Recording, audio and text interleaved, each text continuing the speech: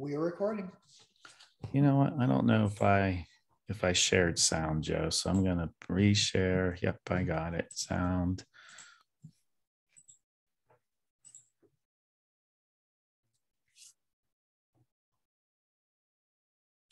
All right, welcome everybody to Optometric Education Consultants National Webinar Series, uh, Tuesday night edition. Tonight's topic is amniotic membranes and biologic agents for the eye. It's an interactive distance learning course with our guest speaker and uh, co-owner and co-partner, uh, Greg Caldwell. He's a 1995 graduate of the Pennsylvania College of Optometry, and he also completed a one-year residency in primary care and ocular disease at the Eye Institute, uh, as well as Hahnemann Hospital. He's a fellow of the American Academy of Optometry, a diplomat of the American Board of Optometry, a member of the Optometric Glaucoma Society, and the, a member of the Optometric Wellness and Nutrition Society. He currently works in Duncan, Duncansville, Pennsylvania as an ocular disease consultant.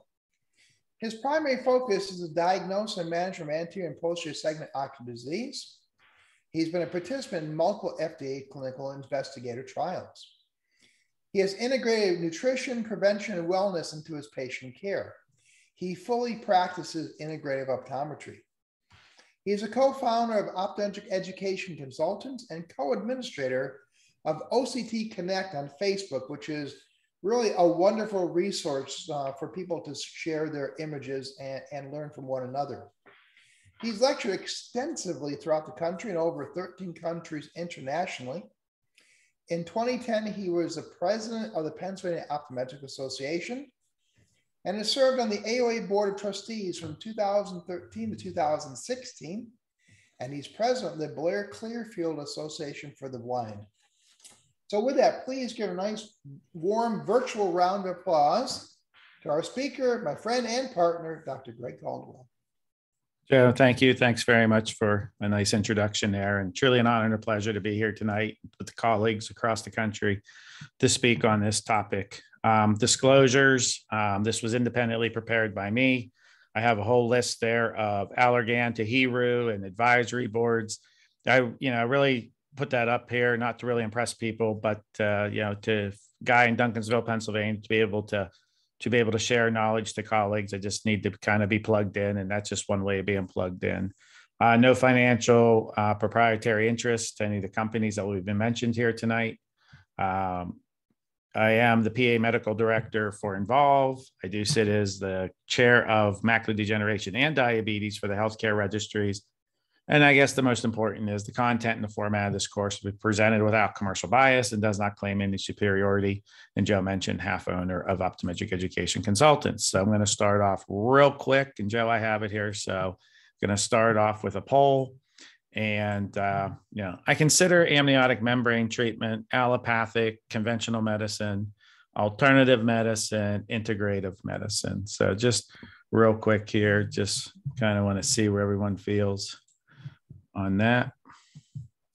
You know, Greg, as uh, people are, are weighing in, rather than have dead air, like like to, like to share a couple uh, uh, things with you, I think it's uh, kind of fat, you know, kind of fascinating. Allopathic medicine, people, some people don't understand it. You know, that that's the traditional MD. And I know this uh, one fellow who remained nameless, really, really good ophthalmologist and he, you know, he always knew that I worked with an, an osteopathic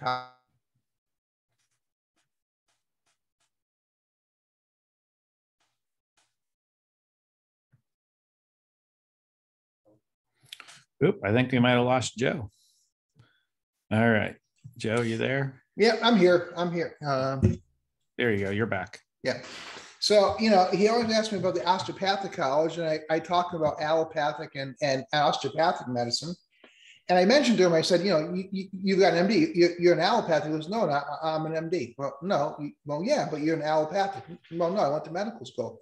Well, yeah, you went to allopathic medical school. I said, well, no, no, I went to medical school. And after a while, I just gave up. There you go. but allopathic is conventional MD medicine. There you go. So allopathic, uh, I'm going to end the poll. I'll share the poll. All right. So we have allopathic being 38%. We got 58, 57%, and 5% saying alternative. So that's why I put this slide in here. And Joe was talking about allopathic medicine in terms we use, you know, modern or mainstream medicine, conventional medicine, Western medicine, you know, biomedicine. You know, the key allo just means opposite. So if you have an infection, you use an anti-infective.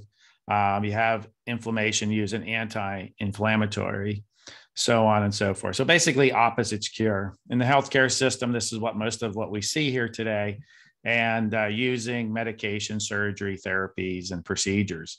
Now, complementary and integrative medicines are commonly used along with mainstream medicine.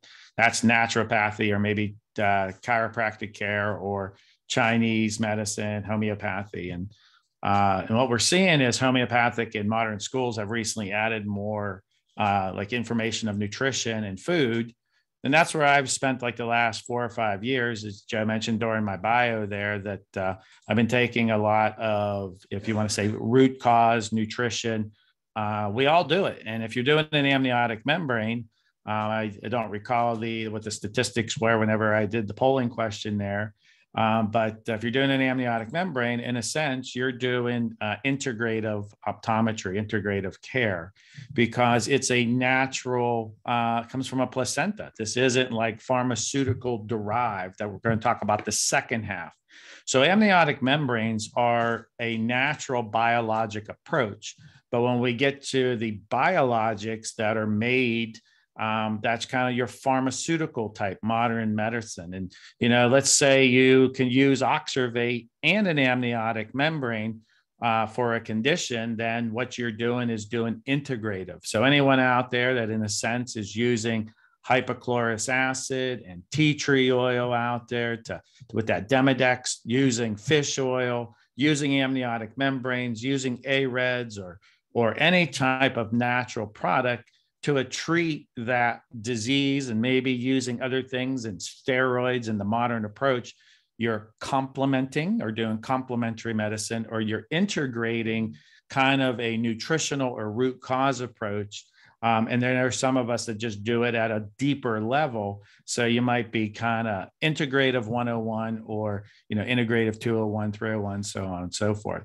But it's a natural approach. And the history of amniotic membranes uh, in ophthalmic surgeries that goes back as far as 1940. But it wasn't until 1995 where uh, Kim and Tseng used amniotic membrane tissue for ocular surface reconstruction and then 1997, surgical and sutured.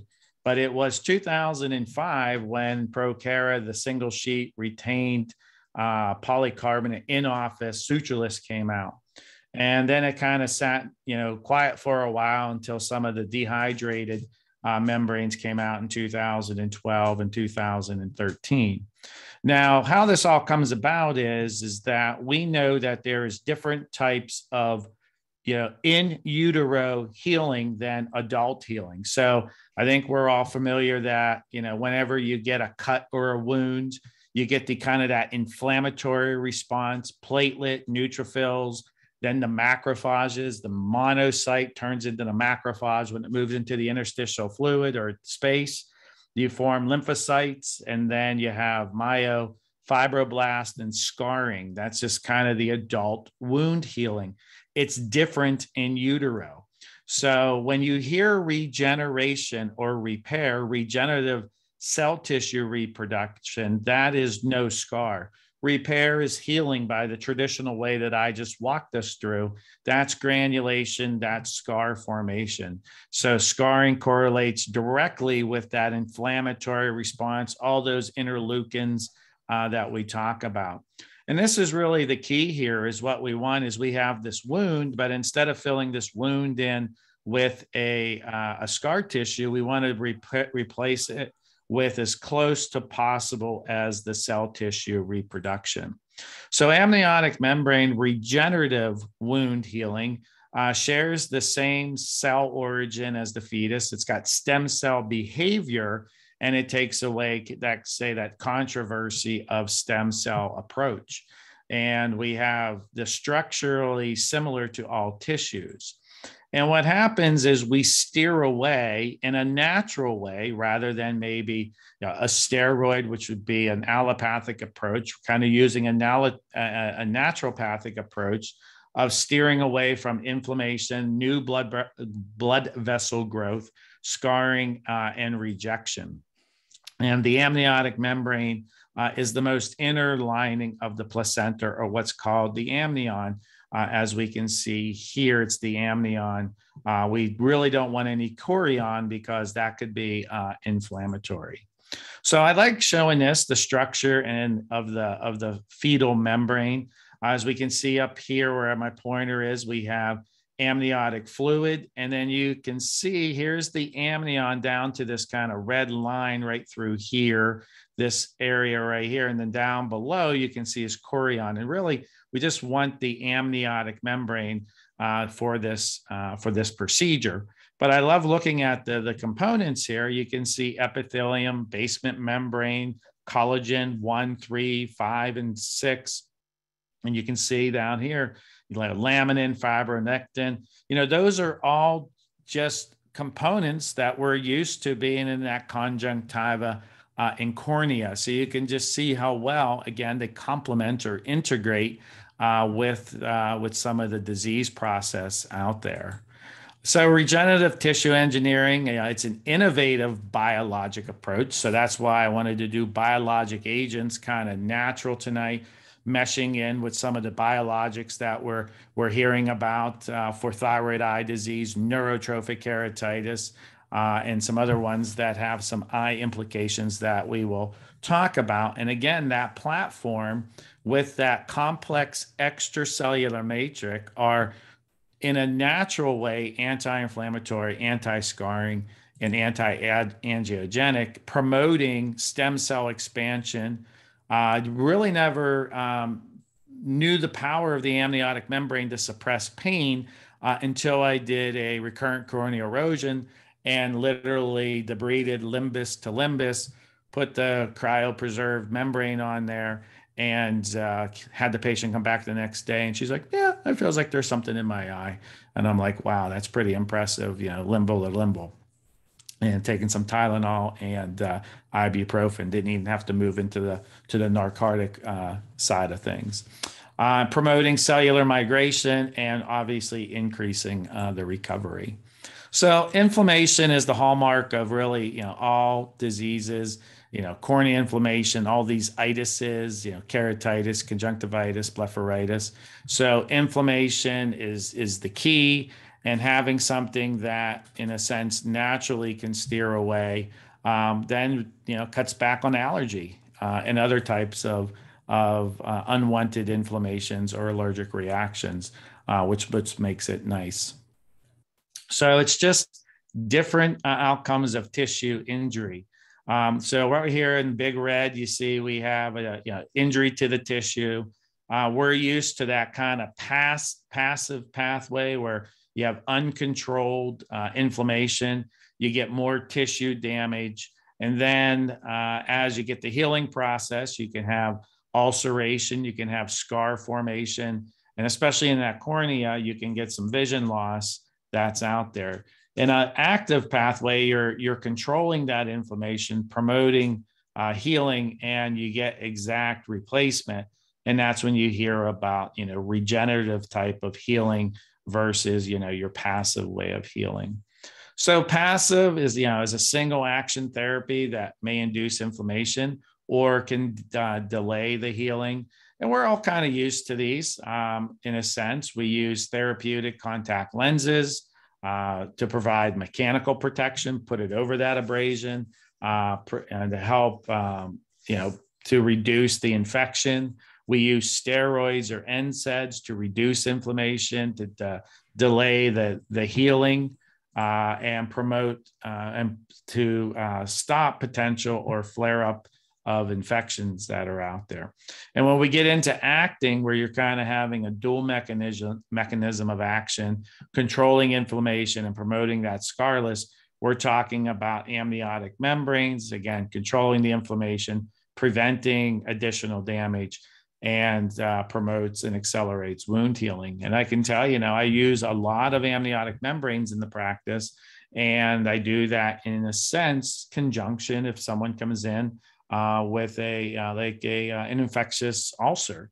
Um, you know, if it's like a, a, herpes simplex right on the visual axis, sure, I'm going to use things like um, uh, Valtrex or maybe even do Zirgan, but say to the patient, look, let's get ahead of some of this inflammation and potential scarring and uh, put an amniotic membrane on there.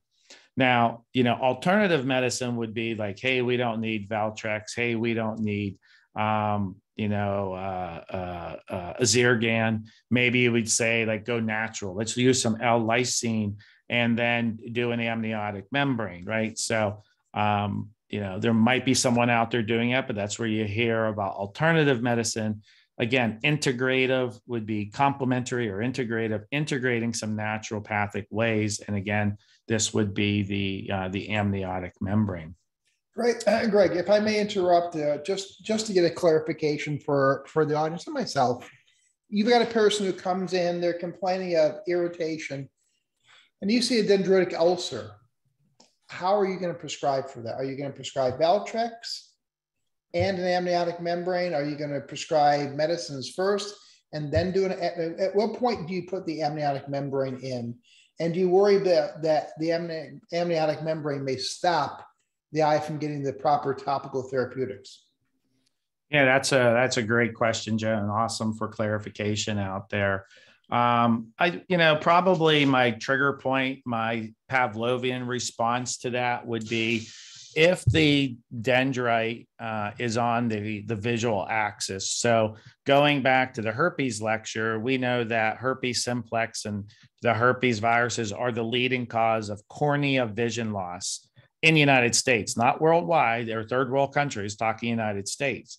With that being said, um, anytime there's something on that visual axis, knowing that we can lose vision, uh, I'm pretty pretty Pavlovian, low threshold of pulling off a uh, cryopreserved, and I'll tell you why as we get through the lecture. Cryopreserved uh, at this time um, would be central involvement. If we're out in the mid periphery, um, I probably don't go that route. Probably Zirgan, um, or if it's in the periphery, maybe just Valtrex would be enough just to, just to do it. Um, but and then to answer your question, would it block the absorption of the medication? It certainly would not. Um, it's not like a big tight fitting contact lens. Um, there's certainly room for the medication to absorb in. So uh, yeah, that was that was great questions. Thanks for thanks for asking that and help clarify. All right. So scarless fetal wound healing. This is courtesy of Dr. Harrison here. And this is, you know, this is where we started figuring out or understand more uh, about you know wound healing inside in utero is much different than uh, than adult wound healing. And here's a baby that had this you know giant uh, massive um, lesion on its neck and then on his neck. And uh, you know they went in and did surgery and in utero surgery at 26 weeks and they you know basically said to the parents hey everything went great. Everything's awesome. You know but uh, you know it was a big tumor. And you know when the baby's born don't be shocked about the the scar. And you know three months later you see this you know healthy baby boy. And uh, you know you don't really see any scar going on where this you know this massive tumor was. You know and there's a lot of healing uh, um, potential. And you're going to hear me mention a few things out there. And remember these: this pentraxin three and heavy chain hyaluronic acid. Um, you write those down; those are pretty important as you do your research, and you want to pick which amniotic membrane uh, is for your practice and for your conditions that you're using. You know, this is just showing again the power of amniotic tissue. This is a patient with diabetes, obviously with some uh, foot ulcers, and uh, able to close, you know, a foot ulcer uh, in a, in about ten weeks. So uh, pretty pretty powerful uh, tissue here uh, when you know used again in a complementary or integrative way. Which now leads me. Oh, I see we were still sharing that poll, and we'll go to this one. And leads me to polling question number two you know, again, it's be neat to see here again. I've used an amniotic membrane in the past 12 months. Yes, no. Uh, um, or, you know, if you want to make it that you've ever used one, that's fine. Um, just kind of curious to see how many have used an amniotic membrane. And if so, cryopreserved, dehydrated, or both. All right, Joe, anything? And uh, we're kind of up to cruising altitude. Anything in the chat box? So there is not. I have someone here. Did you get the handouts, Joe? Or I got a little private I, I have, message. I, ha I, have them. I will launch them uh, just when you when you pick up again. Perfect. Okay, great. It's just someone would appreciate the handouts. Mm -hmm. uh, that came to me privately. That's I'm not sure if you get the private ones or not. Uh, good. All right. I used to do about 20 membranes a year. That's great. Thank you. All right. So we've got a lot of information. I'm going to pull the trigger on this polling question and end it. And I think we got the trend here. I'll share the results. And I see one of the handouts in there. I do two. I do the six slides per page, and I also do the full slides. I'm doing um, both. I'm doing both for you. Perfect. Thank you. Um, so we have 32%, a third using amniotic membranes here, and we have uh, a nice mix. Most using cryopreserved, a few doing dehydrated, and oops, the majority are using both. All right. So let me go down and move on. So, adult wound healing, our body uh, does not activate the state of the art healing process on its own. You know, prolonged inflammation, you can end up in the cornea with haze, scar formation, alterations going on.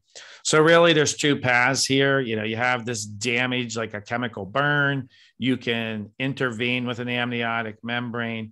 And what you want to try and do is pr- promote scarless healing and clear vision where on this side, inflammation, keratocyte activation, fibroblast, remember that, you know, the, the, the, the, traditional pathway and potentially, uh, if not controlled properly, scar formation, impaired vision, so on and so forth. So really anytime the cornea is involved, and especially as we get closer to the visual axis, you know, the threshold for amniotic integrative ways of treatment uh, start to, to increase for me.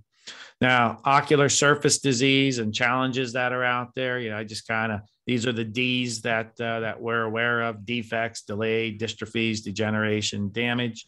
Um, neurotrophic uh, persistent epithelial defects. Um, you know, before Oxervate came out, um, this is you know kind of the the mainstay of how I would treat these. You can see a nice big lesion here that's in A and C. You can see how it stains. And then in B and D, you can see the usage uh, of an amniotic membrane. Now, Oxervate, we're going to talk about it a little bit later here, but it still takes about three or four weeks uh, to come in by the time you go through the process of uh, getting it approved. And, um, you know, an amniotic membrane is kind of a nice way to start teeing up this cornea uh, to be to be healed. So neurotrophic uh, persistent epithelial defects have become you know, with between uh, a biologic agent again of uh, uh, German and um, and uh, or Oxervate, and uh, using an amniotic membrane, it's kind of been nice to tackle these. Infectious keratitis, corneal ulcers with a hypopyon. Again, you can see this nice little central defect, hypopyon, nice red hot eye. And Joe, this is one, you know, would I start on this day? Absolutely. You know, moving to that fourth generation fluoroquinolone. Um, you know, there was some thought back in the day that this had so much pain suppression that, you know, maybe it would confuse whether the eye is healing or not. But uh, now I think most people just day one, because of the amount of, of uh, healing that you get from the amniotic membrane, put it on day one and then use your you know your antibiotics and you know it will go right under the membrane uh, and you can get a really nice improvement in safety. And here's that herpes simplex you know a lot of the times what happens if you don't work with your local pharmacist um, you know one of the things i try and keep in stock with my local pharmacist he's awesome. He keeps me 1% atropine and he'll keep me zirgan uh, in stock. And you can see here you can see this dendrite long dendrite with a little bit of a adjacent dendrite has, you know, right on the central pupil. This would be your central axis right over the pupil. This would be someone I would certainly not have a problem, you know, checking the insurance, checking with the patient, and putting a uh, an amniotic membrane on here while going orals and even topicals uh, on this patient to try and minimize the amount of scarring that can happen. Filamentary keratitis, they work great. You know, I hear people just say, you know, you can put a bandage contact lens over this. Um, and you can, and the next day those filaments will be gone. You don't even have to remove them. Uh, just put the bandage contact lens over but you're really not getting to kind of that root cause, you know, of that of the you know the keratitis, the inflammation, not resetting it back. Um, so I really find in these filamentary keratitis, especially in some of these patients, like you know Sjogren's disease, I get these filaments or you know advanced dry eye, um, that you know the patients just come in every six eight months, uh, and we can just make them feel uh, wonderful uh, and uh, and you can see a nice healthy looking cornea until you know maybe the inflammation starts to kick back in recurrent corneal erosion. I'm going to jinx myself one of these times. Um, i'm about uh, 25 or 25 we're not having to send them for a ptk um, you can see here here's the Weck-Cel sponge. I kind of have it tilted the wrong way maybe for the photo here but i think you can get the but you know you can debride the cornea put the amniotic membrane on and it really really helps with uh, with um, you know the reoccurrence. I hope these videos work here. And uh, the, one I'm going to show you in this video here, and I'm going to hit play uh, here in a second because it's a little bit of a lag, but this is a patient going for PRK, photorefract, uh, photorefractive keratectomy. And uh, what we're seeing here is the surgeon's going to start scraping. And you're going to see as the surgeon scrapes, Watch the cornea indent. Look how much pressure the surgeon puts on this cornea um, as, you know, as he's scraping away to try and get down to the epithelium. You can see that cornea indenting. You know, I haven't really counted, but we're probably up to 20 scrapes here and a lot of pushing. And we see what type of, uh, you know, trauma and uh, the type of abrasion we have here. Now, over here, this is a patient. This is before I have had this video now for quite a while, but I love this video because this shows us really the the the root cause of epithelial basement membrane or or the outcome of what epithelial basement membrane does um, and why when that eyelid or you go to sleep at night and you put that eyelid up against that diseased epithelial basement membrane or that diseased epithelium. The epithelium is not diseased, but the basement membrane, which is down below, you can see why this basically tears open uh, super, super easy. So you can see here that I showed you before the surgeon how hard uh, he had to push. Now here's a patient with just bad EBMD and you can see ever so gentle, grabbing the edges. And this is what happened to me the first time I had someone come in with recurrent corneal erosion, or the second time. You know, I said, "Oh, I'll just clean up the epithelium here. Let me just, you know, take this Weck-Cel sponge, clean up this epithelium, and basically, even with a Weck-Cel sponge, was able to remove this epithelium like happens here." Um, and you can just see how easy it comes off. Um, and that's pretty much what I try to do when a recurrent corneal erosion comes into the practice now.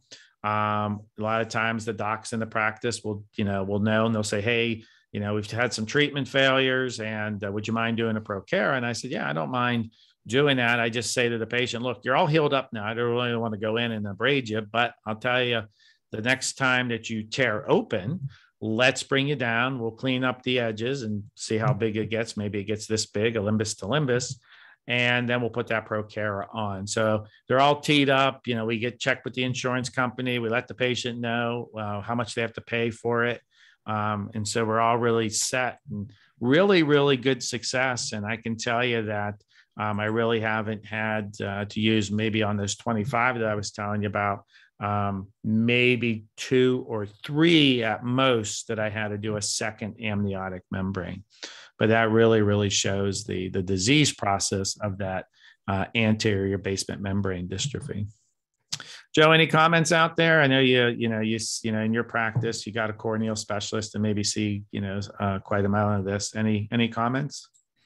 Uh, no, in fact, uh, we, you know, we in the primary care level in optometry, we, we do a lot, you know, we do the amniotic membranes uh, as often as the, uh, as a corneal surgeon will. What I actually find kind of interesting is after an SK uh, for an EBMD, they'll put a bandage contact lens on, but generally not speaking, they don't put a, a uh, an amniotic membrane on. What are your thoughts on that, Greg? After which surgery? After superficial keratectomy. Yeah. Um, you know, sometimes what we do, in a sense, the same kind of discussion, uh, you know, PRK, superficial keratectomies, you know, I try and get uh, an amniotic membrane on there to promote that healing. So, you know, it just, it, it really helps the, again, it's complementary. Um, so yeah, uh, I don't have a, a, surgeon that I work with now that does that, but if we did, I would encourage uh, an amniotic membrane for yeah, sure. Usually, yeah. yeah, usually they come back with, uh, with a, uh, bandage contact lens and that'll be on for about uh, five, five to seven days. Greg, you, you, you mentioned insurance, checking with insurance. I don't know if you're going to cover this later, if this is appropriate, but do you want do you want to you know discuss like the cost of the membrane and the the you know the the insurance coverage? Yeah, uh, we can do that now. Um, yeah, the reason uh, that I just check the coverage is because I don't know what the, the practice charge is, whether it's seventeen hundred or 1750 but you know the national average i think to get these covered is around 1500 maybe 1300 i haven't seen it in a while the the, the reimbursement.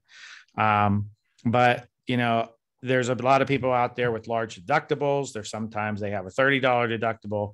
I really don't have that change my mind. I've had people pay you know 1700 because they've had a $5000 deductible and they've said you know, hey, I'm going to spend it one way or the other. Might as well just get a portion of it out here at your office, doc.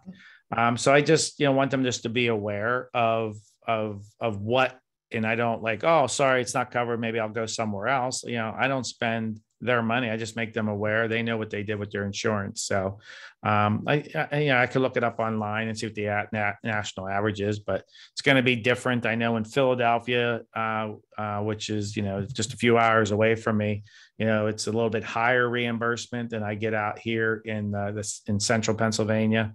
Um, but uh, that's the reason why I discuss it with the patient. The you know, here's Salzmann nodule de- degeneration. Obviously, this is being done in the operating room, uh, and then the, we do. My surgeon does do Salzmann nodule re, re, uh, removal and part of his protocol is we get to put the amniotic membrane on uh, at the office. So uh, you can see here, this is a patient that that we did that for.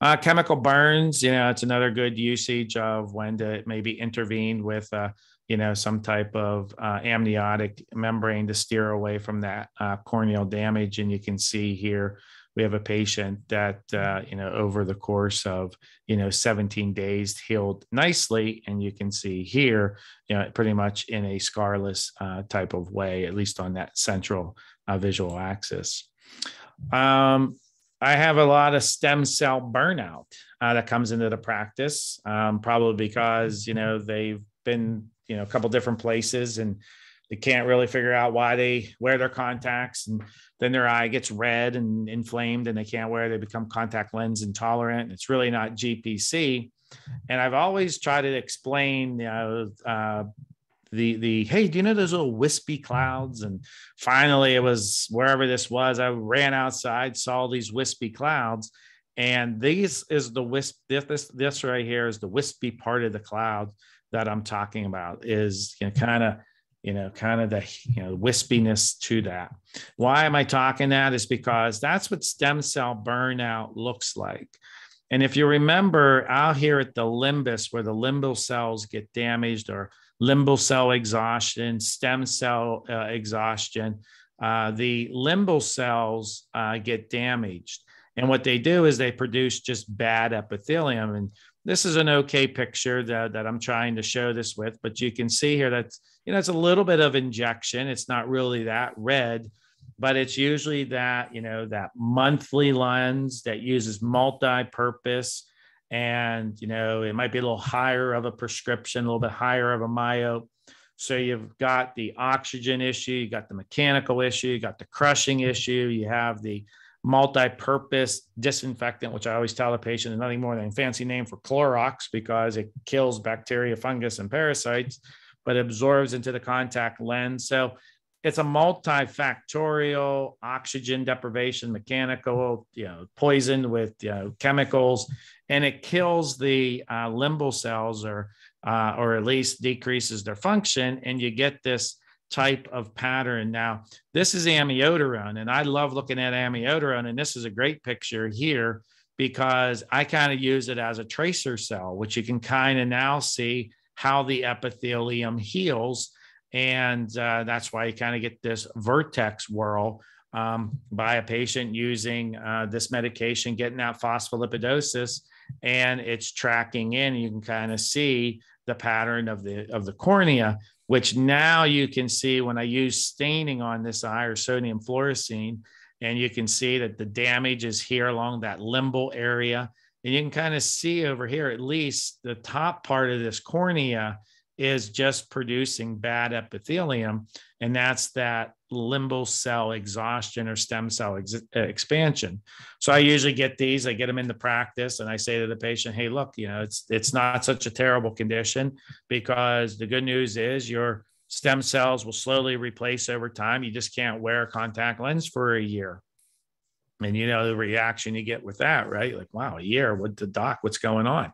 Um, you know, I'm a higher myope. I don't really want to wear my glasses. And I say, well, that's a year if we don't do anything. We can speed this up by, you know, using things like steroids and um, maybe getting some, you know, some fish oils and some other kind of natural ways going on there and got some steroids. But I said we can really accelerate this by using uh, an amniotic membrane and replacing the, the, in a sense, or helping replace this limbal cell and maybe get you down to maybe a three month type of, of situation. So, you know, the, the, the issue is, you know, they come out of their lenses, they use maybe Maxitrol for a few weeks, and all of a sudden their eye feels great and the cornea heals up, and then they go back in because we're really not fixing this uh, limbal cell area.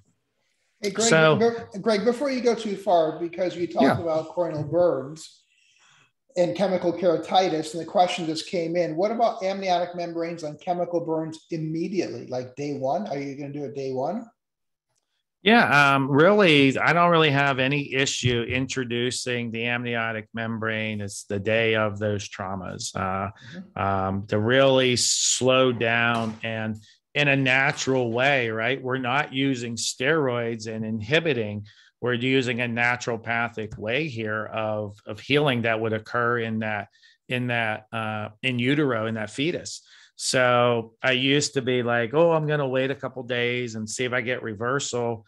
And just like anything, when you start getting comfortable and lecturing on it and doing some digging, like, why would I not intervene on day one? So yeah, that's a great question. Of um, yeah, chemical burn, acid, uh, alkaline, day one. Sure, get it on there and you know, start that kind of um, passive, um, um, or I mean, the alternative uh, pathway of of healing here. So, uh, yeah, that's a great question. Anything else? No, you're good. You're all caught up. All right.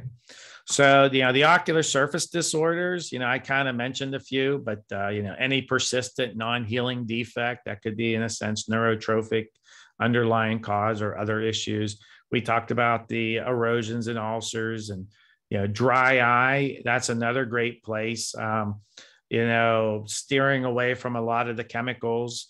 I work uh, down the road uh, from a six man uh, doctor uh, rheumatology practice. I do a lot of their uh, eye that's about the fda in, uh, investigations. I've done some on my own but I'm usually right now we're doing two Sjogren's. One is a biologic for them, and I'm not real quite sure what the other medication is that they're using.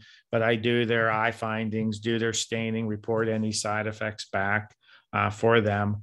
Um, uh, that's out there. But I see a lot of dry eye, and so treating the Sjogren's and then moving up to the moderate dry eye and even the early dry eye uh, helping the patients out with amniotic membranes is you know just kind of as you get comfortable you start with the train wrecks and then you kind of move up to things that like wow maybe if i intervene now they won't get to step three. I can intervene at step one. So you just kind of learn uh, where to, to do that after you get more comfort and again the neurotrophic and the acute and uh, thermal thermal burns i have curling iron burns that come in quite a bit um, i'm not sure if i do it on welders flash those usually go away pretty quickly uh, chemical burns for sure. And the list goes on there. As you can see, I'm not going to read that whole list to you.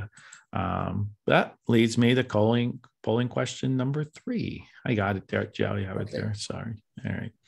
So I consider cryopreserved ProKera and dehydrated membranes to be the same when treating an ocular condition. Uh, yes, no, and threw in the option on this one, Joe, is what people like. Not sure, and that's why I'm here. Oh, I see the question now. Yep. Chemical burn immediately day one as well. Absolutely. Yep.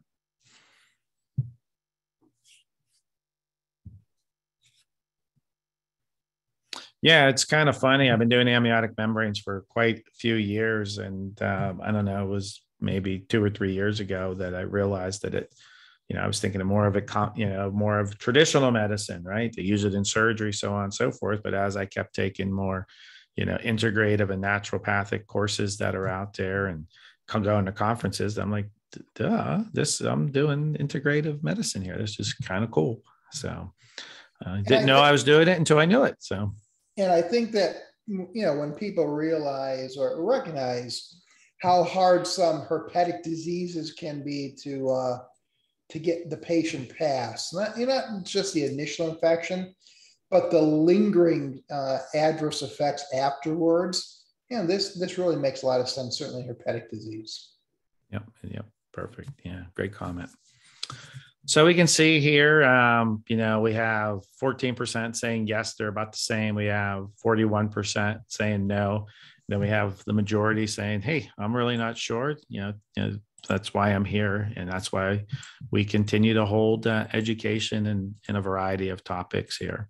So, you know, we'll go through this and right off the bat here, sutureless amniotic membranes. There's two major categories, cryopreserved and, and dehydrated. Um, and they're termed two different, uh, two different types of um, nomenclature. One is wound healing, and that's cryopreserved, and dehydrated is wound covering. And I believe that's the uh, you know medic or the FDA that has come down uh, with that nomenclature.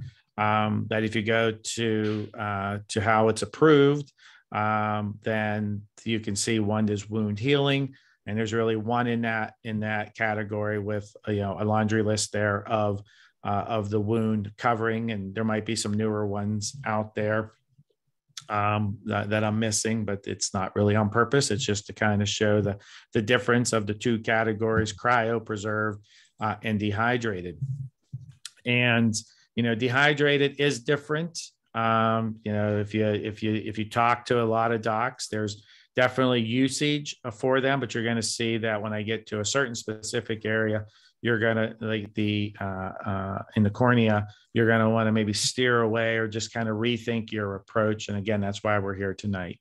And uh, dehydrated uh, preserved using a vacuum low temperature heat you know there's different approaches here. This is kind of a broad path because there's a bunch this some use really low heat and not destroy certain things and so on and so forth but uh, it's to retain the devitalized cellular components um, the fda approved uh, the claims for this type of amniotic are limited to wound uh, coverage again not wound healing uh, that's out there. They're kept at room temperature.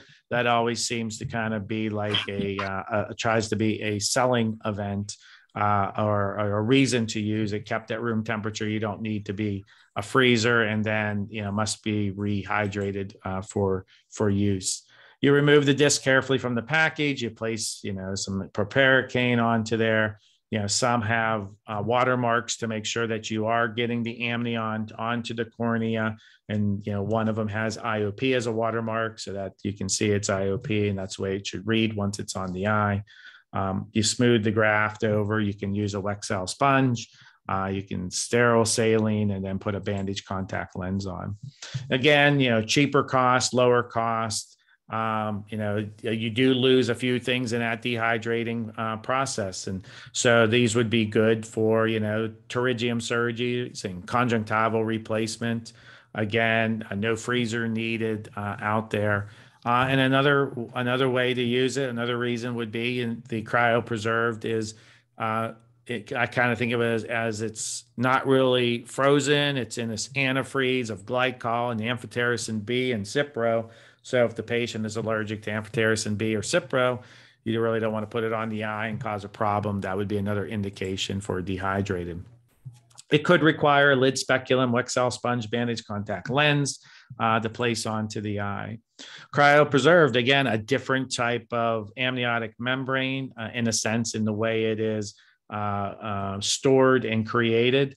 Um, there's uh, a double uh, strength in a sense, and then there's the single, so the mild to moderate they're showing here. Um, and the difference really between is the polycarbonate ring and in the severe, it would just be a double amniotic membrane. And again, here's dehydrated uh, out there. And again, here's the forceps showing the IOP, which now the, the amnion would be away from us uh, towards the back of the screen there. Now, a lot of people want to know how safe they are, you know, and, you know, how do these companies go about getting the, this tissue? Do they, you know, kind of have people like Joe and I standing at a hospital. Hey, I'll give you, you know, 25 bucks for your placenta. It looks like you're going in for a, uh, you know, it looks like you're going to have a baby tonight, man. You want to make a quick 50 bucks tonight if I snag that placenta from you? That's not really how it works. Um, these are p- people going in for planned C sections. Blood specimen draws are taken, you know, seven days before, seven days after. There's FDA and CMS guidelines checking for HIV and hepatitis, and you can see the laundry list of of of, of uh, viruses, bacteria looking for anaerobic, aerobic looking for fungus that's out there. So again, very well regulated, very safe types of procedures here uh, when it comes to uh, using these membranes. Now, the you know, amniotic. Me- you know, oh, you know, you know Greg, Greg, your description, like you and I standing out there you know, trying to solicit membranes would never happen because I have learned never to initiate a conversation about a woman being pregnant. All All right.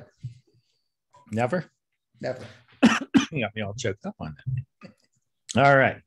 So amniotic membrane components, you know, here's a whole bunch of, you got a nice comment in the uh, chat box on that one, Joe. Um, you got uh, amniotic membrane components here, gly- proteoglycans, growth factors, collagens, fibronectin.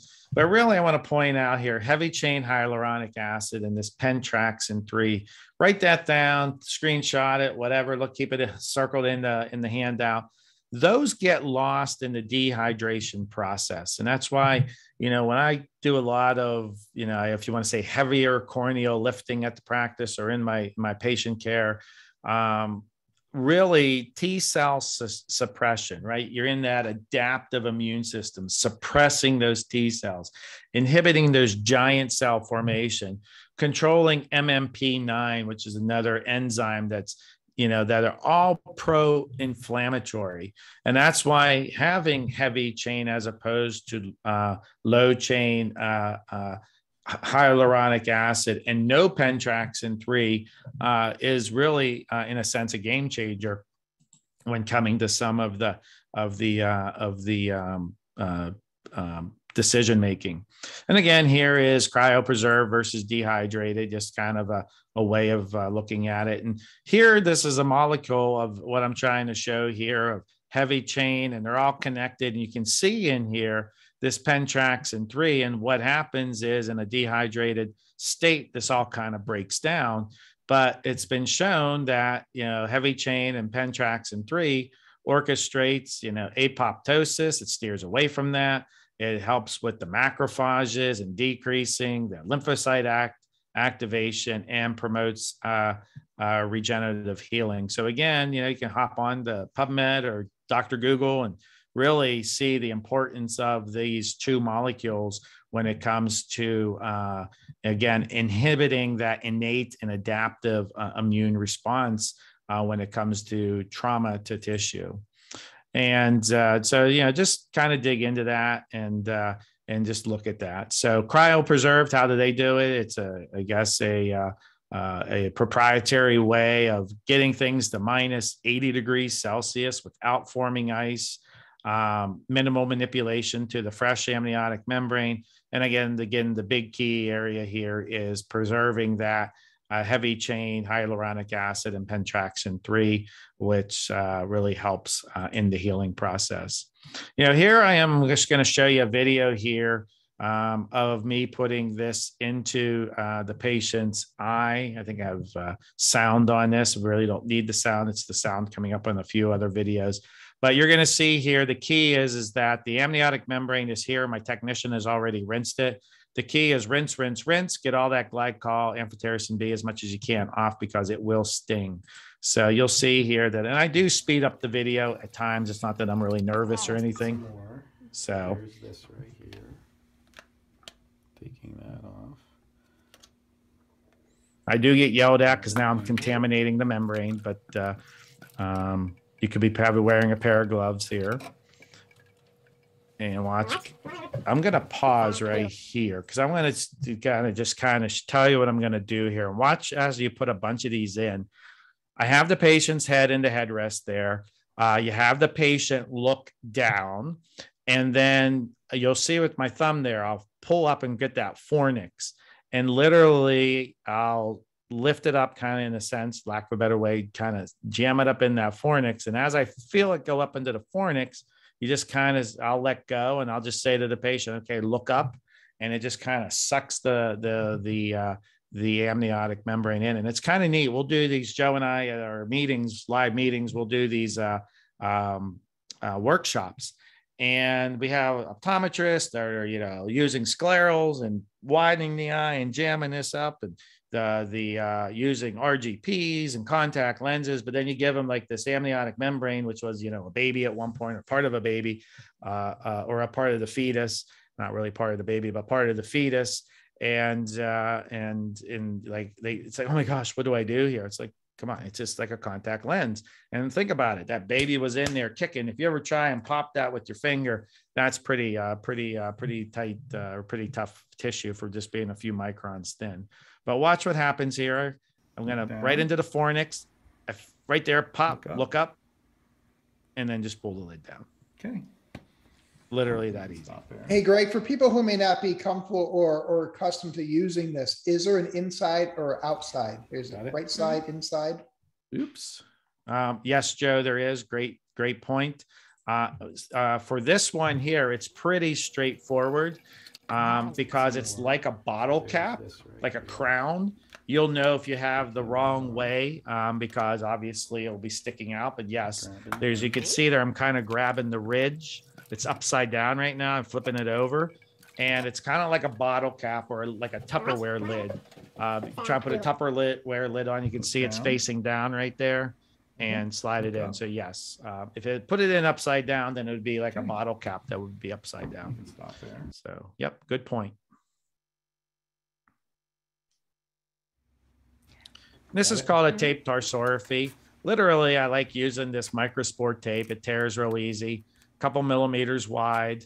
Um, I basically put two pieces of tape on top of each other.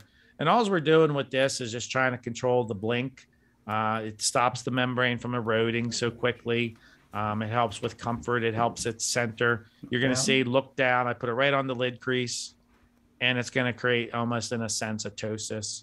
Tell the patient to shower with that. Um, if it falls off, that's okay.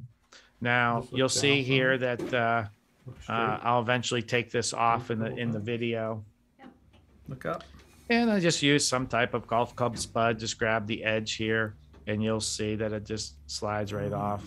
And uh, he's done. You'll see here, this is what he looked like before. He had all this persistent SPK, uh, maybe toxic, uh, the way as much that was being dumped onto that eye with all the chemicals. And that's it after. Now, this is, I'll pause it real quick, is this is, oh, I screwed that up again. Let's go way over here. There we go. Let's see if I can do that. You can see that's before, and then when we transition to here after, and you'll see that This is just mucus. This isn't staining. This looks great. And you know, a lot of people ask how long to leave the uh, uh, membrane on. You, you need about five days. If you can get three days, my analogy that I use when I get that question is, it's kind of like bubble gum.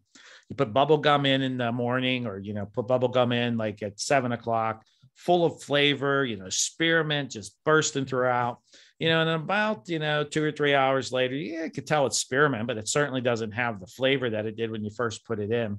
And those biologics are the same way. You really minimum of three days. If you can get it on there for three days, you've got to download, you got all those healing properties downloaded into the eye. Five days is awesome. You know, day six, day seven, it's not like you keep amping up, you know, you get that diminishing returns in a sense. It's not bad for it to be on there, but you're really not getting that amount of of biologics. So minimum three, sweet spot is five uh, to really get those biologics. Uh, Greg, um, some do you, doc.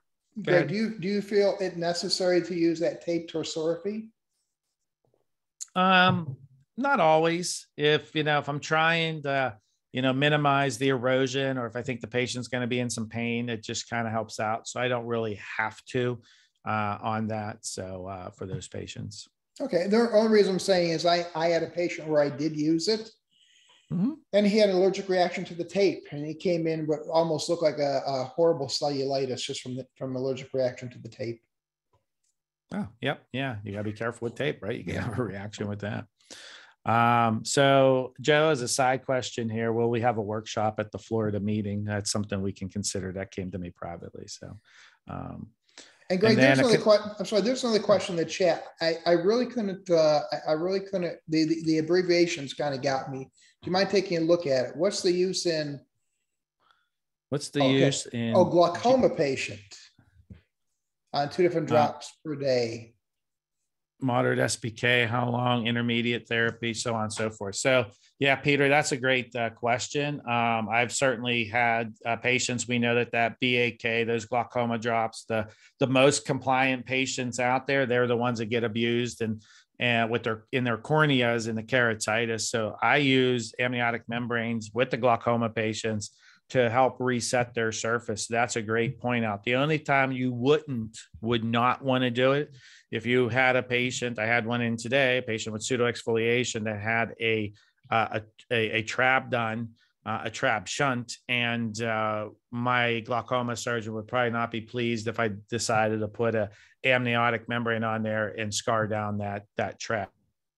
So um, great, uh, great comment there. Heavy SPK, glaucoma patient, lots of drops, toxic keratitis uh, great usage out there. Yep, definitely use it on those patients. Uh, consent form, some people say it's a minor procedure. Here's a consent form, an example. We use it at the office since it is uh, a kind uh, in a sense, a minor procedure. It's right here, 65778. We check it, patient's name, who's putting it in, all the different modifiers. There's zero uh, uh, uh, post-op days on this. Used to be a 10 day, now it's zero um, ProKera, make some notes, have it signed off, and we just scan it in their, their electronic health record. We talked about the tape tarsorrhaphy. Uh, here's the coding out here. Um, this is a while back, but it looks like I maybe did this in Michigan, showing uh, the uh, $1,400 in Detroit and the 1330 there in the rest of Michigan. And again, really the point of this is uh, you can look this code up uh, and really important, it's a zero day post-op. Contraindications, again, with cryopreserved, it would be uh, uh, Cipro or amphotericin B. Careful with those eyes. Here we go with those drainage devices and filtering blebs. Incomplete blink might cause them to pop out. So intervene, uh, faster reepithelialization, scar you know, uh, intervention against the scar formation uh, that's out there. So polling question number four here is um, would you use a dehydrated amniotic membrane to help treat an infectious keratitis? Yes, no, not sure. So we have a case here. That they got these herpes simplex down there. We've got this central corneal, looks like infectious ulcer. We got nice hypopyon. Um, yes, no, dehydrated. That's out there. I think, Greg, we're all caught up on the questions.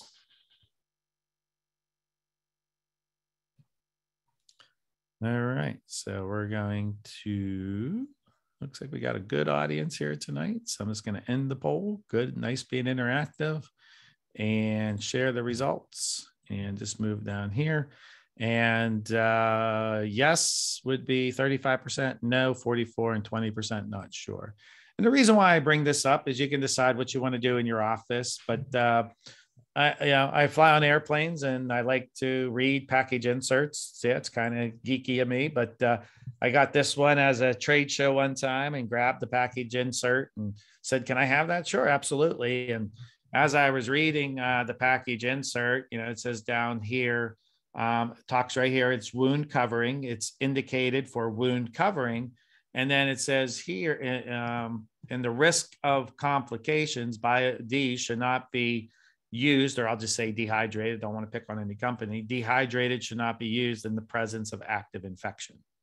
So, you know, makes no claims of biologic properties of this allograft. So, right there in the package insert, you know, it says, you know, it's don't use in the presence of an infectious keratitis. So, you know, I know Joe does uh, defense work. He does a little bit more, or a lot more than I do. Um, I do get called upon for defense work, and you know, there's things that do pop up from time to time. I'm not sure how, how much someone would pull out a package insert, but it'd be kind of hard to say, well, you know, yeah, that's on there, but it's probably safe to use. So just it just make people aware. Cryopreserved in a sense, it's intended for eyes with ocular surface damage, inflamed, scarring. You know, it is wound covering. So uh, I'm sorry, wound healing, not wound covering, wound healing. And in a sense, it's indicated for an infection uh, on the eye. And you can see here that, you know, they, there's always this, oh, you know, ours are dehydrated and you can have a three year shelf life. Well, this one has a two year shelf life. And if you're spending money on these, I'm hopefully that they're not sitting on the shelf for longer than, you know, a few months rather than two years to three months. So they both work really, really well. As I transition into the uh, uh, pharmacological, I just, you know, thought this was kind of neat that transitioning into, you know, we have uh, oxervate, which is a biologic that is helps with the corneal nerves. And here was, you know, corneal nerve regeneration in a, in a sense, a naturopathic way. And that's why I think it's a nice little segue to while you're waiting for oxervate. And you can see there's persistent SPK. And you can read all this down through here, but it basically says one uh, cryopreserved, you know, healed this but under the electron microscope, you can see that there were a decrease in the corneal nerves in A. And as time went by, you got that increase in corneal nerves. So I really like the approach of that kind of complementary, integrative, naturopathic, and then moving into subbiologic that we'll be talking about. So I'm going to kind of transition now into kind of allopathic biologic approach, the biologic pharmaceuticals that are or for the eye. And just want to review biologics. I'm not going to get really in depth as when we do a biologic course, but I think it's worth talking about that biologic therapies include a wide range of medical products. It started with vaccines um, and blood products. Insulin was one, probably one of the first biologics that were out there. And now, today, when people talk about biologics, they're usually talking about the second generation moving into Humira and Remicade. And you know, those are some big boy biologics. You know, they they get in there and really suppress the immune system at a very high level. Uh, and you know, that's why you got to watch out for people with tuberculosis and, and so on and so forth. And what's happening is these next generation, and again, maybe the third or the next new generation of biologics that we're going to be talking about, like Oxervate and Tepezza, instead of being maybe like immune suppressive, they're more immunomodulatory because we're really getting in and targeting some of these receptors that are upregulated rather than hitting that immune system at a high level. So that's what biologics are. Biologics uh, are the opposite of small molecule drugs. They're huge. And that's the reason why most of them need to be an injection or infused because you just can't get it into the uh, size of a pill. You have to, they're so big and and they're usually very, very delicate, right? That's why, like the uh, the COVID vaccine, it was frozen at uh, you know that very it was shipped at that very cold uh, uh, degrees because it kept it frozen and locked up because if you would try and ship it in its natural state it's kind of like a ball of yarn or a, uh, a, uh, if you lay yarn down and you try and carry it uh, you'd rather maybe like throw some water on it and freeze it and then before using it let it thaw out and then inject it in a sense. So biologics are usually very delicate. They're large in size. Uh, like aspirin is like composed of uh, 20 to 100 atoms as opposed to biologics being up to uh, as small as 5,000, as big as 50,000 atoms that are out there. And uh, again, here's just a picture here of using aspirin, using the measurement here of Daltons because it's so small, 180 Daltons moving over into insulin being a 5,800 or 51 amino acids, but jumping down to IgG and how big and how, how convoluted and all the amino acids and how they twist up to form that IgG. So again, very big uh, uh, molecules uh, that are out there. And again, just stressing upon, you can see here that uh, uh, an aspirin would be like a bike to uh, human growth hormone would be like a car to something like an IgG antibody uh, is complex and is large in a sense, in both ways, complex and large uh, as a jet engine that's out there. So now you can really understand why some of these just costs just through the roof uh, that are out there because they are very complex. So when it comes to producing a biologic, I, oh, I guess stop sharing here and let's jump to number five this is a two part question in a sense. Biologics are produced by inserting DNA or the DNA sequence into yeast, bacteria, viruses, all the above. Not sure. That's why I'm here. And I think we got it down here, but on B here, we have biologic pharmaceuticals are very small or very large. We kind of talked about that, but it's just a way to reinforce it. Anything roll in here, Joe? Yeah, there's a couple things I think are really good questions. Do you charge an office visit when a patient comes in to have an amniotic membrane removed, or do you consider removal included in the initial fee? Yeah, that is a great question. Um, with the zero uh, uh, global fee, um, you know, let's say they have an infectious ulcer. I put the amniotic membrane on that day you know, I might have to see them the next day. Um, that's an office visit uh, and everything after that. Um, removal, that's tricky um, because I kind of do it both ways. Uh, I when I put these on, I usually give the patient my cell phone number and say, okay, your vision is very blurry. Look out there. Yeah, I can hardly see the big E. I could see maybe the SL 2200. Good. When your vision goes clear, give me a call on my cell phone or call the office and because I usually have them set up like let's say I'm doing a dry eye and uh, something that doesn't need to be followed like an infectious ulcer, uh, like a Sjogren's patient or something like, hey, this is going to dissolve. Probably I'll see you next week. Um, I'm only working Monday, Tuesday, Wednesday. They might call me on Friday. It might be someone at the office. I'll just say, look, can you just take the ring off? They already have an appointment. Uh, in that case, I would, yeah, if I run in, I unlock the office, I take them back, take the ring off, everything looks okay, boom, let them go. So it kind of goes both ways. But most of the time, if I'm following something, they're getting changed, getting charged. Yeah, I, I would, you know, Greg, I, I, would suggest in that you're, you're not really just taking off uh, uh, the ring or taking off the membrane. You're assessing how well it works. So I think that would be uh, definitely a follow up. Can you mention your thoughts on Regener-Eyes? I believe they classified the drop as a biologic. Yeah, absolutely. Um, I just started using uh, Regener-Eyes in the last, uh, ooh, um, six to eight weeks, maybe two to three months, and uh, really getting my mind wrapped around it. It truly is. It falls into integrative uh, medicine, uh, complementary medicine. It's a biologic, a natural biologic it's an acellular component. Uh, they have Regener-Eyes Light, Regener-Eyes Pro. Um, certainly could put it into this lecture and uh, would probably run out of time getting through the rest of the biologics. And that was the only reason why I didn't put it in there. But Sheila, thank you for bringing it up. And it's kind of in between there. You know, it might not be as maybe say robust as a uh, as a uh, uh, amniotic membrane for an infectious ulcer. Um, but you know, I have used uh, p- patients to reset their Sjogren's recently uh, with an amniotic membrane, and maybe I won't have to use the cryopreserved as I'm starting to now move into um, the pro and into the light usage. But uh, um, got some good video the other day on my phone about a patient that was very pleased uh, with her uh, outcome of the Regeneri. So stay tuned, and uh, I'll probably have some uh, CE out there at some point and how to use it clinically in the practice or where I found it useful. So that was a great question.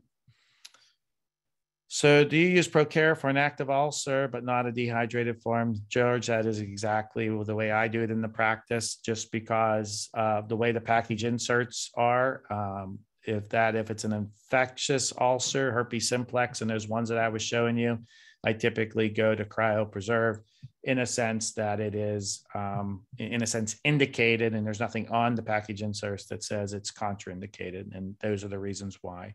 Um, you you know you can decide how you know or everyone listening can decide how they want to do it in their practice again not showing superiority bias just trying to point out things that are on package inserts so all right. So let me end that poll. Uh, let me read the results here. Biologics are produced by, oh, you guys can't see it. I got to end it and then share it.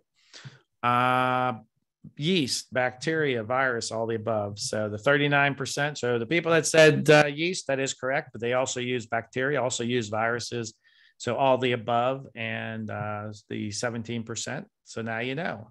Um, and then we can see here that uh, uh, that they are very, I guess, maybe very small compared to the human body, but compared to other pharmaceuticals that are out there, they are very large. So maybe I worded that question uh, poorly. So compared to pharmaceuticals out there, they're very large, but I guess compared to the universe, they are very small. So, all right. So let's go to poll six when it's ready. And so the making of a biologic is they found out the DNA sequence of certain things, and like the COVID virus vaccine, they found out the the DNA sequence of the COVID uh, molecule or the COVID virus. Basically, found the part that makes the uh, the crown. Took everything off, put it on messenger RNA, all that fun stuff, and it produces crowns, and your body has an allergic reaction to it uh, or an immune reaction to it. And that's how a lot of these biologics are made. They find out the DNA sequence and then they put it into some bacteria, yeast, or virus. And then it spits out this long chain. And then they have to try and find a way to spin it into that, you know, line up all those amino acids and, and turn it into the protein or whatever they're making as we talk out talk about this. What I want to point out is they have very weak chemical bonds and they're very sensitive uh, that's out there. So that's a biologic. A biosimilar is really not a generic. It's just another company taking the DNA sequence, plugging it into maybe a different microorganism, and coming out with the same exact molecule. If it's human growth hormone, it's human growth hormone. It's human growth. It just might be a different process. So that's why they call it a, di- a biosimilar. It's really not a, uh, a generic medication. So you could call them highly similar when they're out there. It's really not appropriate to say uh, uh, a generic of it because it's really not generic. The uh, reference molecule, you'll hear that a lot in biologics. They're the ones that spend a lot of money. Uh, they're out there, uh, you know, doing the molecular characterization, the non-clinical trials, and then it's the phase three, and then when it comes to a biosimilar, you have the uh, you know, the clinical studies being a lot smaller. The pyramids are are flipped there uh, in a little bit. So the difference between biologic and a biosimilar uh, that's out there. So you know, monitoring parameters of biologics, you know, they do suppress that immune system pretty well, depending on uh, the the biologic. You know, the immune system doesn't. I lecture with Tracy, Dr. Offerdahl. You've seen me share the stage. He always likes to use the, you know, the immune system is prissy. It doesn't like to be messed with and uh, you're tinkering with it at different levels when you're using these biologics and that's why you'll see a lot of these immunosuppressive you know if you have tb or if you have this or have that or whatever it can cause things to you know get worse uh, that's out there because the big boys humira and remicade they are uh, they can really suppress the immune system uh, that's out there so um, biologics uh, that are used in the ocular uh, arena and uh, I'm going to do a, a, a polling question here.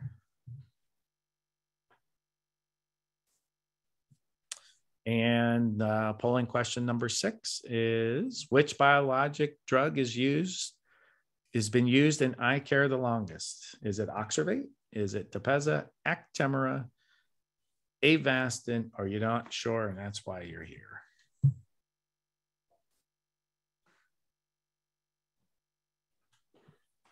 I think you're all caught up. We're all caught up in the questions there, Greg. Perfect. Thanks, Joe. Mm-hmm. Unless you have a direct uh, direct message. Uh, that's good. I should look. Thank you. Thanks for the reminder. Nope, I don't have anything here. We're good. All right. So we've got uh, a great response here. The audience is responded well tonight. Thank you for making this interactive, keeping us compliant. Um, and you guys are spot on here with uh, uh, Avastin uh, being the longest uh, biologic agent that's out there. So treatment of choroidal neovascular membranes going mm. back to Avastin, and then the various ones that have come up to use for retinopathy of prematurity, diabetic retinopathy, macular degeneration. I think we're all pretty much familiar, but it, you know we're going to talk about ocular biologics. I could not leave those out. And you can see that, you know, it started maybe back in the day with Macugen and being an RNA aptamer, and then moving into Avastin in 2005, being a uh, humanized full length monoclonal antibody. And that's why if you look at the end here, it says MAB. That's what it stands for, monoclonal antibody. And this ZU means that it's, you know, humanized. And what that means is, is that you're less likely, in a sense, to have a reaction to it. So it's a humanized type of antibody as opposed to using you know, potentially uh, uh, animal types of monoclonal or having animal like parts. So you can see here that Lucentis and Eylea, um, and then we have Beovu here that that's out. So I'll stop sharing of that poll six and we'll go to poll seven here and which biologic is indicated for neurotrophic keratitis. Neurotrophic keratitis is it Oxervate, Tepezza, uh, Actemra, Avastin, or you just don't know.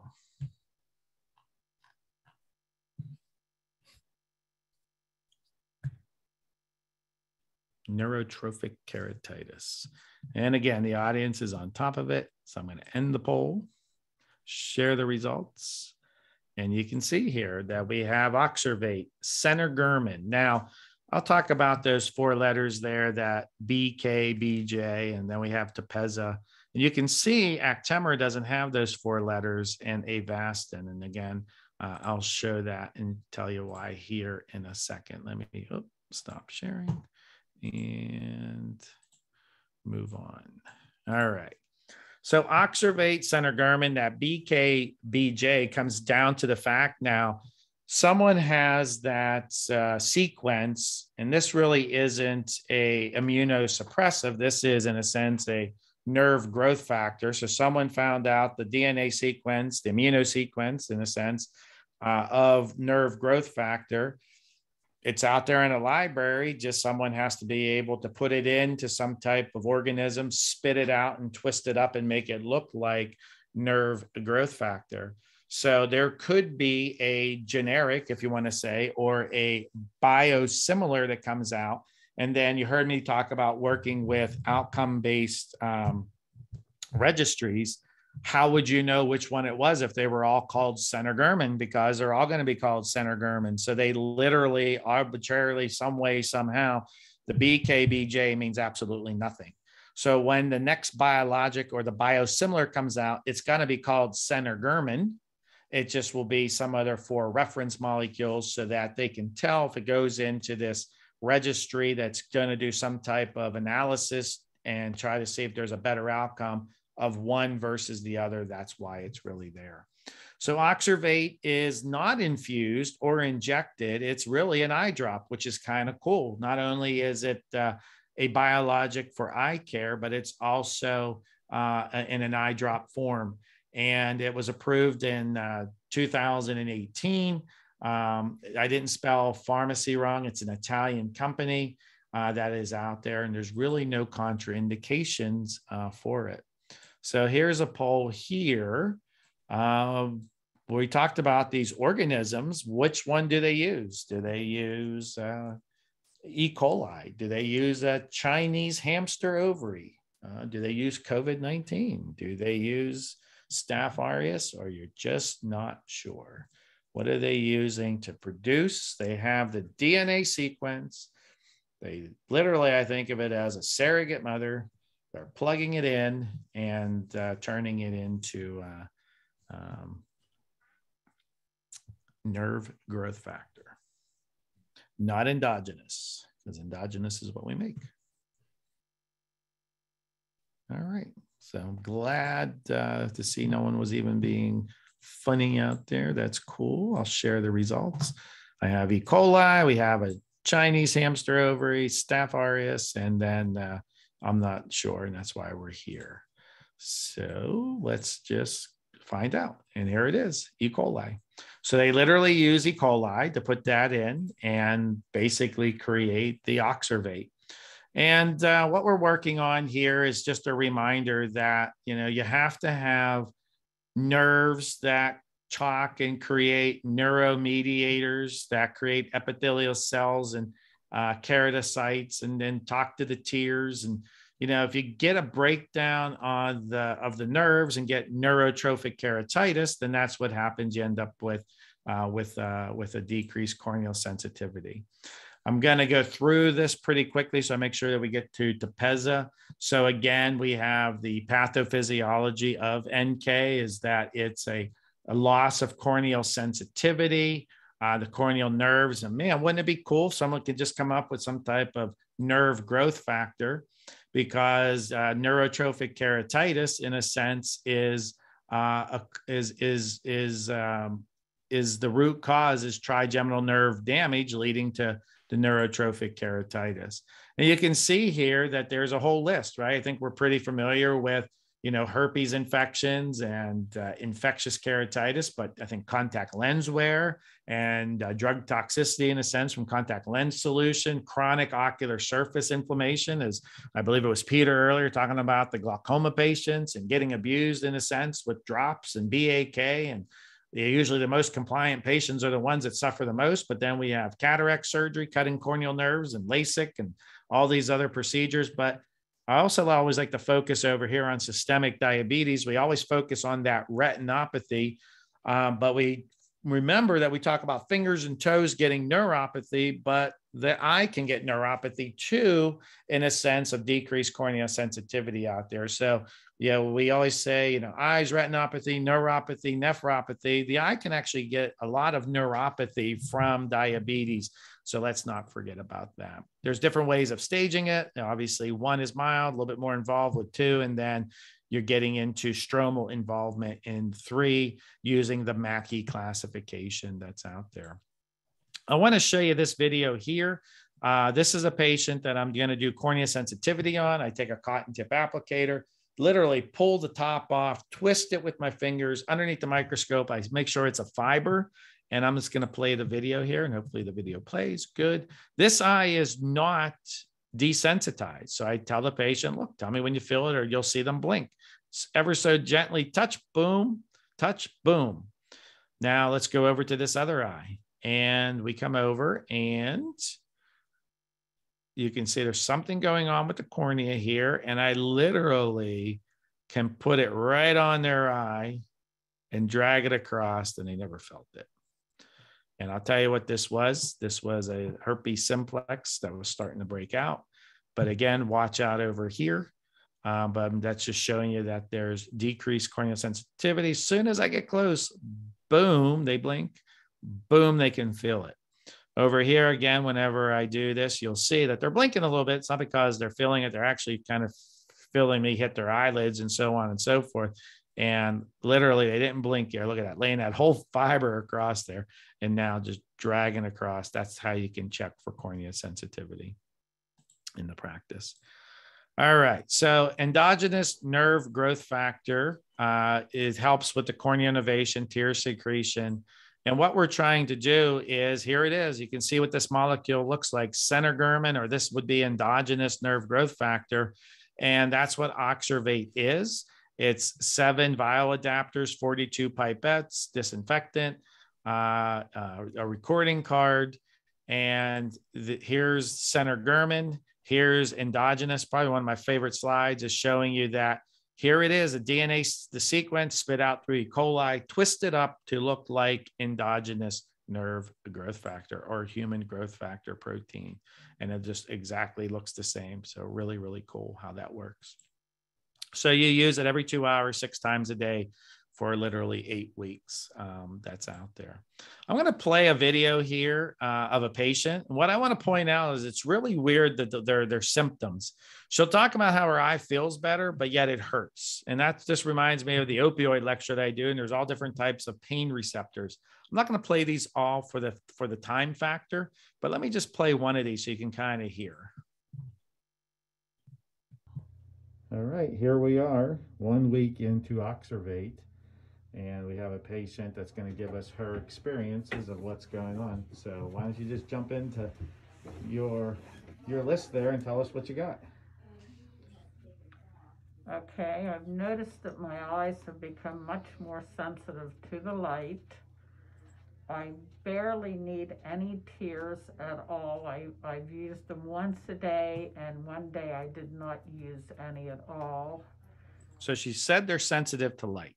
My eye, my eyeballs themselves feel sore when you move your eyes or open and close your eyelids. So sore. Um, but I no longer have the sensation that there's something in my eye. They they um, but now they feel better. Are very soothing. now they're soothing. And they feel better. And you're so, using what type of tears? I'm using Refresh Optive. Usually I finish the eye drops, the last one for the day is at 6.30 in the evening and usually by 9 or 10 o'clock I use one drop of the, the Refresh Optive and that. Okay, I'm gonna play the next video so you can kind of hear the comments. All right, here we are with our uh, weekly follow-up with our This is patient. week three. We have uh, time zero up here, and then we have a week after Oxervate, and then two weeks, and you can see we had a nice improvement today uh, with the with the SPK with Oxervate. So let's swing over here to our patient, and how how's there any difference between last week and this week, or since we started? The biggest difference is I can now read. Um, any time of the day I would choose. I can see clearly, and it, it's a big improvement and my eyes feel good. The eyes feel good. It was, so other than that, you said there's really been just status quo since last week. Yes, the, the, still a little bit of discomfort, nothing, nothing bad. Good, And I'm very happy with it. good. And this is.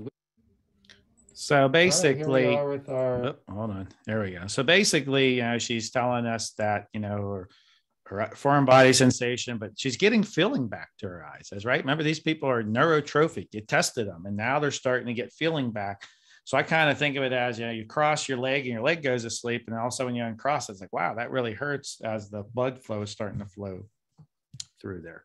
So what they found was um, after eight weeks of treatment, six times a day, that every two hours, that 72% were completely healed uh, after after the study here. And so, you know, oxervate is, you know, I found it to be very, you know, useful in the practice for uh, neurotrophic uh, keratitis. So let me move in quickly here because I know we're getting close, about, uh, I don't know, let's say about 12 or 13 minutes here. Uh, to where we uh, need to land this plane. So let me go through thyroid disease. And I have a whole thyroid lecture. And I think we've already given it. So if you want to take a deeper dive, it should be on our uh, on our uh, YouTube channel. But you know, remember that thyroid dysfunction. Um, you know, it's the thyroid releasing, talking to the to the uh, anterior pituitary, producing thyroid stimulating, producing T3 and T4.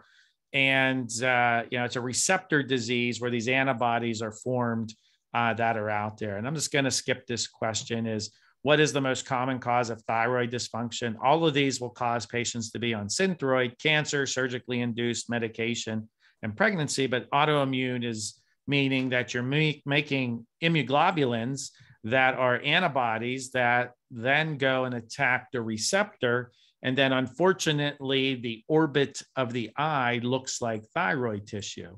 So, Greg, I'm sorry. You, I'm sorry to interrupt your your momentum, but just to finish up the last topic, uh, the question a question came in. Uh, have you ever had a retreat oxervate? Have you done more than one one cycle? Yeah, that's a great question. I've had probably my N of oxervate. Uh, I'll say it's as high as 15. Uh, it's probably 12 to 15 patients. And I think I've had two or three patients that needed to have a retreatment? Yeah, that's a good question. And I believe that in their studies, they showed that of those um, 72% that were completely healed, I believe 80% uh, were completely healed after a year. So it's a, you know, you, you're getting down to root cause is that you're fixing the neurotrophic keratitis. Uh, so that really helps out. So yeah, I've had a handful uh, of patients, one or two, uh, maybe as high as three that needed a retreat, but the majority of them are just one and done. Great question. So shifting back over to thyroid dysfunction, um, uh, this whole list here, it's these patients that are autoimmune are the ones that can get the thyroid eye disease in the fact that it's these antibodies that get into the orbit it's not the T3, T4, it's the antibodies, the congestive part, the congestive part of this condition that cause the problem. So, you know, a lot of times, you know, I work with the endocrinologist and they'll be like, they can't have thyroid eye disease. Their TSH, T3, T4 are perfectly normal. How can they have thyroid eye disease? It's because it's this part here, this congestive or inflammatory component, the antibodies that attack the receptors now are attacking the orbit because unfortunately orbital tissue looks like thyroid tissue or the has has the receptors that look like thyroid tissue on the fat and the muscle so in a sense these all these patients have upper lid retraction and it's just my little way of saying look those antibodies that attack the thyroid at the receptor level are now attacking this orbit and creating this an orbital disease uh, that's out there. And here's a patient that came in and she's like, Hey, I hear you're pretty good at like this thyroid or this this eye stuff. And I she couldn't really figure out what was going on. She's on Lotemax, off Lotemax, on Lotemax. And so we ran the blood work right here in 2017, and she was 344 of the immunostimulating immunoglobulin. And in the reference, 1.3 was normal, and in this reference, 1.7. And you can see here, like 300 times higher than what it should be. And we were able to solve what was causing a patient's orbital disease. And I'm just going to go through a bunch of slides here just to remind us that it's lid retraction, soft tissue involvement, it's inflammation uh, to the eye, the von Graefe sign. The patient looks down, the eyelid stays up because of the of the uh, inflammation uh, uh, to the muscles and to the into the tissues. You can see here the soft tissue involvement with the redness and swelling. Superior limbic ker- ker- keratoconjunctivitis, 65% of the time is associated with thyroid. But when it's not, it's another rheumatological condition or other autoimmune condition like uh, rheumatoid arthritis uh, and Sjogren's. The periorbital edema is another sign. Again, edema is a sign of inflammation. The infiltrative orbitopathy can occur. It could be unilateral, it could be bilateral. In this patient here, you can see is still in kind of the active phase with the redness and swelling. This patient looks to be maybe in a passive phase and the muscles in the orbit being involved. You can see this big, large medial rectus being inflamed here. This is from Elsevier 2005, showing how that inflammation, chronic low grade inflammation, creating that type of uh, orbital disease that occurs. So in the past, we had all these treatments of lubricants and, and injection and bone and radiation that's out there. And here's a guy that comes in and he kind of uh, was was fooling a lot of people uh, in the area. He had these red eyes, and probably because he was older, and probably because he was uh, a male, uh, that we're this maybe was trying to sneak through. But you can see the amount of fluid, the edema. He actually has uh, double vision when he looks to the side. You can see this left eye is not moving. He had double vision. And this is just thyroid eye disease at its best or at its worst. And uh, really, he came in a year too early and kind of take that back. Every time I do this lecture, I got to reach out and call him since I know the dates. We can figure his name. Um, but uh, Tepezza really wasn't out at this point. And so we had to use traditional, I had to use my rheumatologist and put him on IV steroids and oral steroids. And you'll see what happens here over time. You'll see he gets this redistribution of the steroids and the and the fat. He starts to get that moon face appearance. His eye is quieting down, but he really didn't get in a, a, a significant improvement. We were worried about that compressive optic neuropathy. So I lost him to follow up uh, by going to, to Pittsburgh. But you can definitely see the, the eye turn here that's going on. You can see the moon face uh, that's happening. His symptoms dramatically improved. He felt better, but we were still concerned about that optic nerve uh, on his eye. So, you know, which biologic is indicated, you know, for the treatment of thyroid eye disease? We'll just skip the poll. We'll just move right into Tepezza, teprotumumab. Um, and yeah, I was really excited because there was in 2018, I saw that there was going to be this insulin growth factor 1 receptor antagonist coming out. Uh, and it did come out. It came out by Horizon uh, Therapeutics. It uses a Chinese hamster ovary to produce this. And what it's targeted is this human growth factor 1, insulin like growth factor 1. Uh, and the uh, thyroid stimulating receptors become overexpressed. And that's what it targets. It's actually on the insulin growth factor. I have a nice little picture coming up here showing it, but it's a monoclonal antibody. And you can tell that from up here in the in the definition. It says teprotumumab. And you can see that it's not that ZU because we you know, we're kind of in a sense got some little hamster uh, ovary going on and uh, um, and moving into how it works. It works into the orbital fibroblasts. We got cytokines and leukotrienes that are being uh, in, inhibited here. So really uh, getting down to, in a sense, molecular. So up here, we're talking about the orbit. We're talking about the orbit. It's an orbital disease.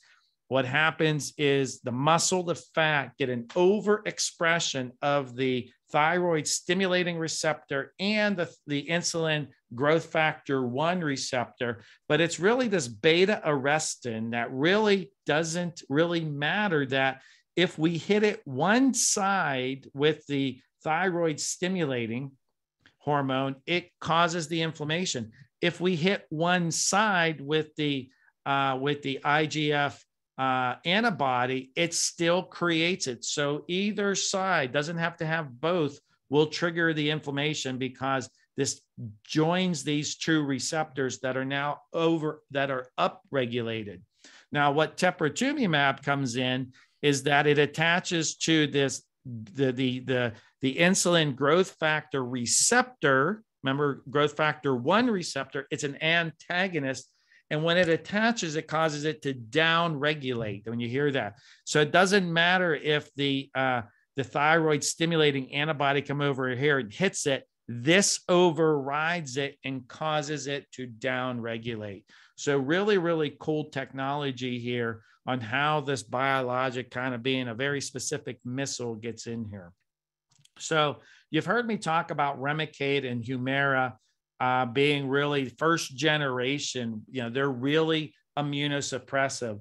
We start moving into immunomodulatory uh, with the Tepezza, a little bit more gentle on the eye. And there's that fully humanized uh, proteins, and we're talking le- less to no sensitivity as opposed to when you start getting into other chimeric molecules using mouse and human protein here. So Remicade, mouse and human, higher allergy down here, all human, uh, which decreases it. Again, working on the myofibroblast and the hyaluronic acid.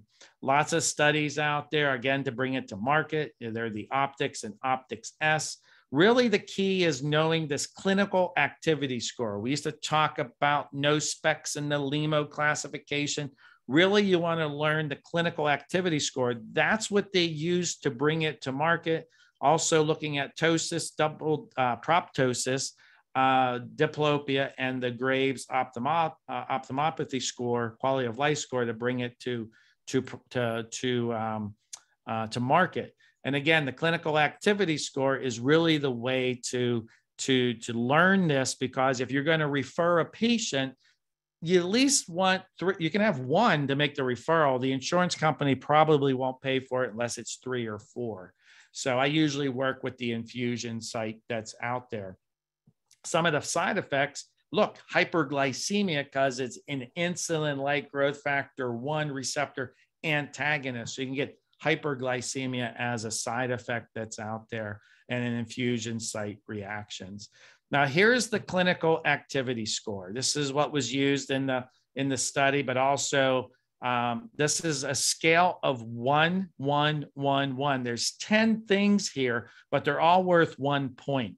So if you have uh, a score of three, patient has pain behind the globe. Pain can be anything, an itch, you know, it can be mild, so on and so forth. Pain is very, um, you know, subjective. So painful feeling, pain on attempted gaze, we have uh, redness, redness of the conjunctiva, chemosis, any of these totaling three or four, call. I work with the infusion site and then send them over.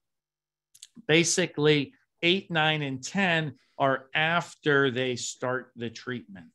So let me show you this gentleman here. That's why I said he came in kind of a year too early because painful feeling behind the eye, yes pain on attempted gaze, yes. Redness of eyelids, yes. Redness of conjunctiva, yes.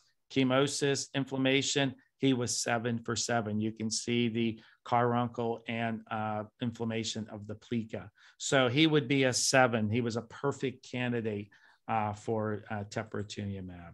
And I bring this up is that because other rheumatologists and other professions out there uh, before Tepezza came out, we're using some big boys here, and you might be seeing these tumor necrosis factor alphas being used, these interleukin 6 being used uh, for these patients. And now you can let them know that there's kind of more of a gentler type of treatment that's out there. Uh, it's really anyone that has any really form of thyroid eye disease. Just go to their website, find out where their next or the closest infusion site is for you when you want to use this. I know we're right at that 950. I just have a couple slides here. I'll hit these real quick um, just because these are biologics that do have ocular um, uh, implications. I think we all hear of Humira on the uh, on TV, uh, but it also is indicated on label for uveitis that's out there. So just be aware that it does have an in- indication uh, it's more of a pan uveitis, posterior uveitis. I've had a handful of these patients in this rheumatological uh, practice that come over and we've used Humira in an on label type of usage for out there. So be aware that Humira does have an ocular indication, infectious, non infectious, uh, posterior pan uveitis, obviously non infectious because you're shutting down that immune system that's there. So one of the main reasons that someone with a uveitis or a pan uveitis is macular edema uh, is why their vision decreases.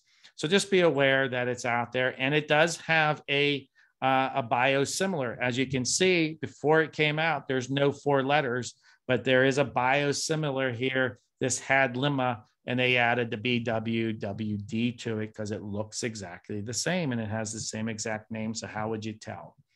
Uh, that's out there. It does have a black box warning Actemra is another usage that's out here. Tocilizumab, MAB, monoclonal antibody, ZU, uh, uh, uh, fully humanized that's out there, made in human in a sense.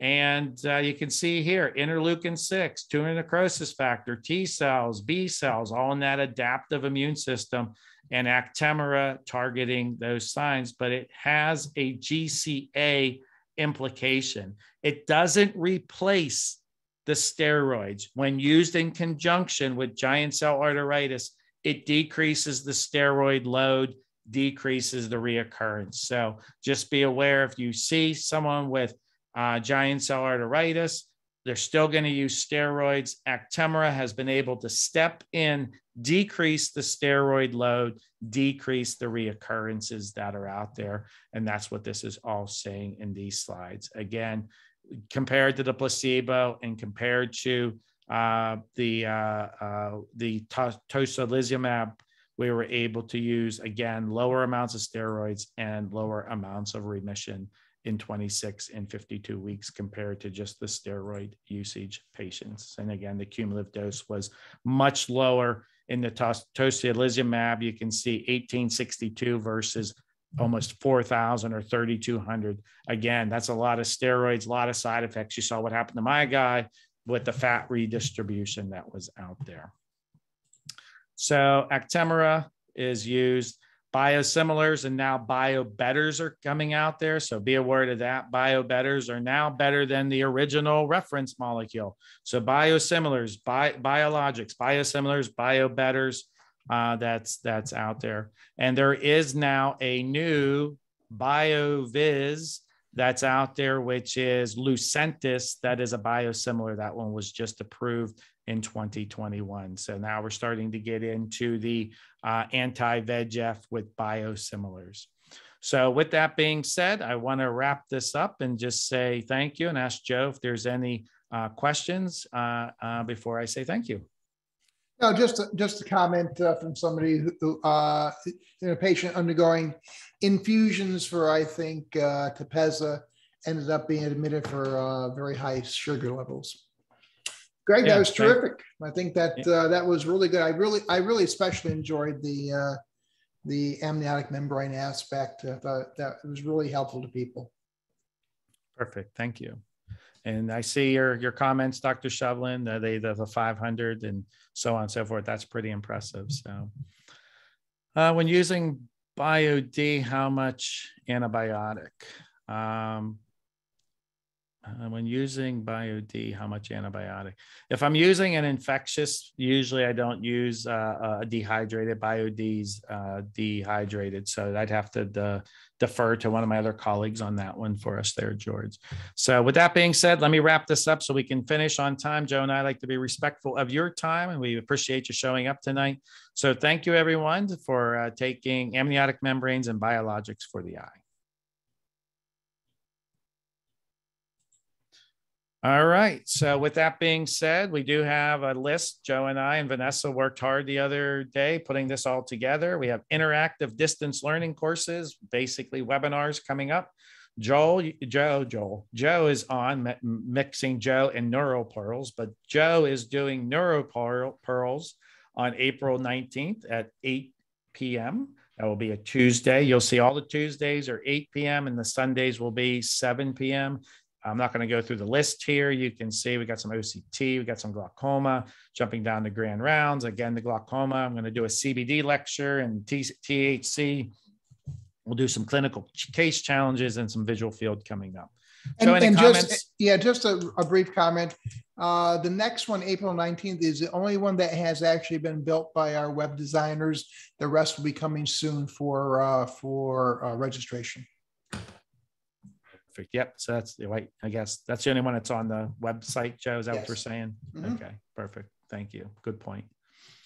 Uh, interactive distance learning. Joe talked about this at the beginning. Pretty much every state out there, other than Florida, uh, can do it. Just you have to make sure you know the limits that are out there.